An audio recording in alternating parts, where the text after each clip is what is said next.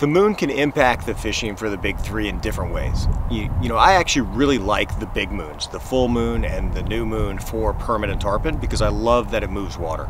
The moving water moves food and that gets those fish going and in my mind creates more opportunity. You might have limited windows during the, each of those days where the fishing is great, but those windows I find more valuable. For bonefish, I really find the moon doesn't matter at all except if it's a moon they're spawning on. And bonefish, unfortunately, can spawn on a new or full moon, and they can spawn six months of the year, right?